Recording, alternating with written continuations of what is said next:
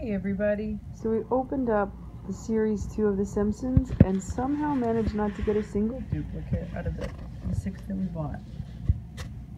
They're pretty fantastic, actually. Makes you want to go watch the show. It's even a rubberized plunger. Ah, don't we all have that problem? Good friends. Good times. Can't wait to collect the other 10. See you soon.